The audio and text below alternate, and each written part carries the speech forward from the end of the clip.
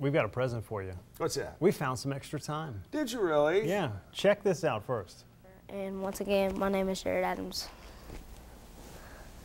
Well, that's Jared Adams from Lookout Valley Elementary School showing off his moves. Jared. He's our kid caster today. That's great. Jared wants to see your moves. Well, next time I'm over at the weather wall, I'll be happy to do those moves. You want me to do them now? Now. You can't do moves while you're sitting down. Now we'll go over there to the weather It's wall. against- It's only three steps. Dance off, dance off. All right, just to show you, I have moves. I'll do it.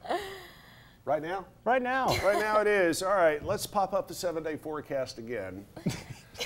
71 this afternoon, 65 tomorrow, and 54 on Thursday. Can you show me Jared's moves one more time just to sort of give me the, the proper inspiration? Stall, delay, Can't avoid, distract. Okay. All right, here we go. How's that? See, it's not as good as Jared's. I never said it was. No, that was good. I have moves. See? I'll give you an E All right, for here- now here's now look. He's got the youth working for him. Okay, I can do that. I like that move right there. Come on, Jared. Let's.